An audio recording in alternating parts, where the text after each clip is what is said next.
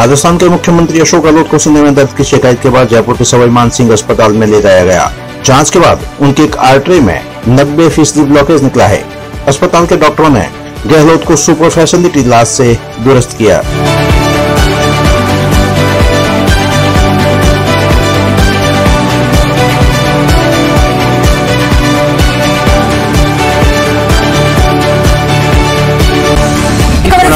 भारीपन था तो उसको ध्यान में रखते हुए हमने क्लोजली मॉनिटर किया, उनको रात को भी ईसीजी किया मिडनाइट भी ईसीजी किया अर्ली मॉर्निंग भी ईसीजी किया तो हर समय उनका ईसीजी नॉर्मल आया।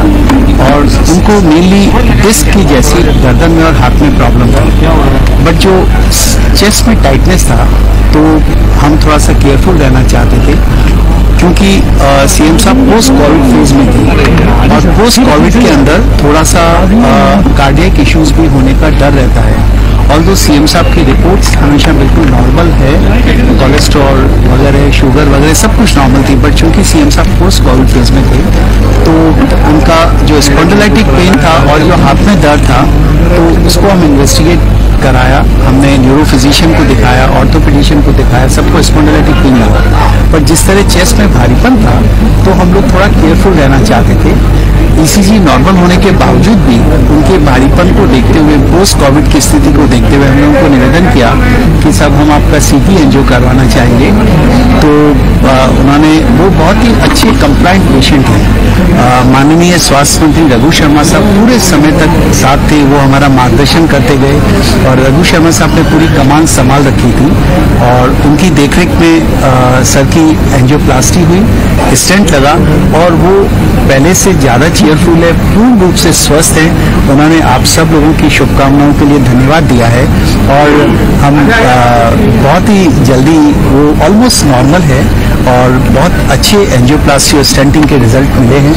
उसके बाद वाला जो इको और जो पोस्ट स्टेंटिंग उनका स्कैनिंग हुआ है, वो बिल्कुल नॉर्मल है और वो बिल्कुल एसिम्टोमेटिक है। अब उनको किसी तरह के कोई लक्षण नहीं है। वो चेयरफुल है और वो उन्होंने एक मैसेज कन्वे किया है कि आप लोगों की जो उनके प्रति शुभकामनाएँ थी कंसर्न था गुड विशेष से शायद उसी के द्वारा ठीक हो गए। एक सौ छब्बीस यात्रियों को ले जा रहे विमान के पायलट को अचानक हार्ट अटैक आ गया।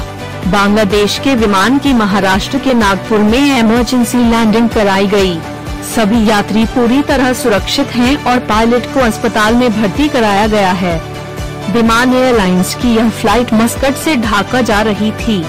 इस दौरान विमान रायपुर के नज़दीक था और इसने कोलकाता एटीसी से इमरजेंसी लैंडिंग के लिए संपर्क किया। एक अधिकारी ने बताया कि जब विमान को आपात स्थिति में उतारने के लिए कोलकाता एटीसी से संपर्क किया गया, उस समय वह रायपुर के पास था, जिसके बाद उसे निकटतम नागपुर हवाई अड्डे पर उतरने की सलाह दी गई। नासिक ज़िले में अनुमानित 10 लाख किसान टमाटर की खेती करते हैं, जो देश के उत्पादन का 20 फ़ीसदी है पिछले दिनों से टमाटर की औसत थोक कीमतों में लगभग पैंसठ फ़ीसदी की गिरावट आई है। हताश और परेशान किसान अपने टमाटर के उत्पादन को कृषि मंडी में ले जाकर एक जगह पर खाली कर दिया। टमाटर के लिए देखो अभी पचास रूपए भाव चालू है इधर। व्यापारी लोग पचास रूपए ले रहे टमाटर के खर्चा निकालने के लिए पच्चीस रूपए खर्चा है और भाड़ा चालीस रूपए पड़ता है इधर तक के। दस रुपए जेब में डालने पड़ते हैं टमाटर के लिए। तीन रुपए कमीशन जाता है। और व्यापारी का भी तीन रुपए कमीशन व्यापारी भी तीन रुपए कमीशन लेता है। क्या करेंगे किसान लोग?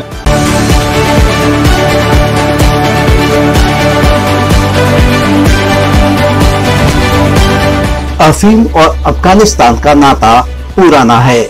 तालिबान का दावा है कि उसने अफ़गानिस्तान में अपने पिछले शासन के दौरान अफीम की खेती पर पूरी तरीके से पाबंदी लगा दी थी। हालाँकि 2001 में अफ़गानिस्तान में अफीम के उत्पादन में कमी ज़रूर देखी गई थी, लेकिन बाद के सालों में यह देखने को मिला कि तालिबान नियंत्रित इलाकों में अफीम की खेती बढ़ती गई। आपको बता दें दुनिया भर में अफीम के कुल उत्पादन का 80 फ़ीसदी से ज़्यादा हिस्सा अफ़गानिस्तान में होता है।